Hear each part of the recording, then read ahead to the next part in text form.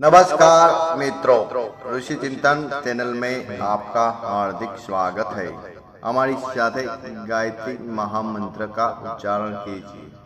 ओम भूर्भुव स्वः तत्सवितुर्वरेण्यं, भर्गो देवस्य धीमहि धियो यो नः प्रचोदयात्।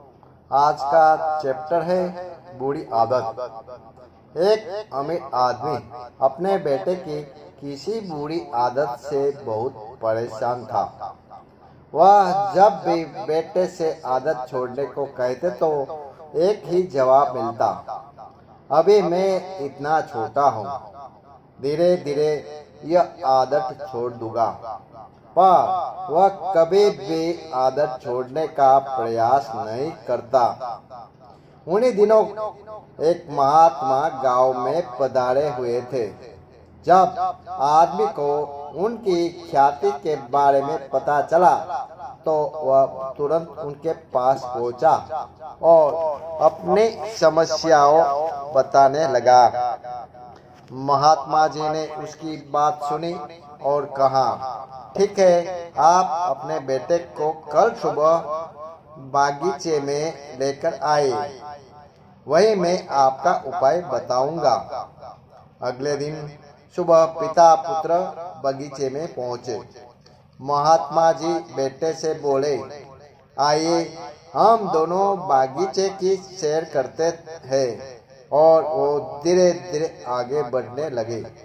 चलते चलते ही महात्मा जी अचानक रुक के और बेटे से कहा, क्या तुम इस छोटे से पौधे को उखाड़ सकते हो?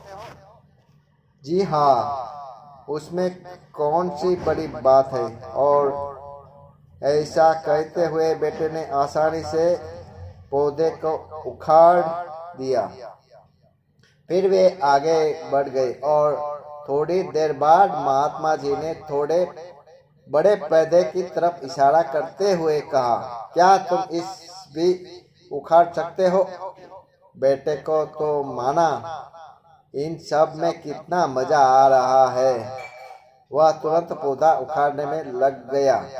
इस बारे उसे थोड़ी मेहनत लगी, पर काफ़ी प्रयत्न के बाद उससे, उसे भी उखाड़ दिया।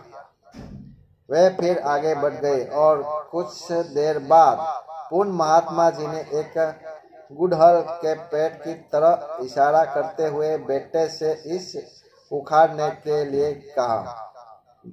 बेटे ने पेड़ का ताना पकड़ा और उसे ज़ोर ज़ोर से खींचने लगा, पर पेड़ तो हिलने का भी नाम नहीं ले रहा था। जब बहुत प्रयास करने के बाद भी पेड़ टस के मस नहीं हुआ तो बेटा बोला, अरे, ये तो बहुत मज़बूत है, इस उखाड़ने का असंभव है।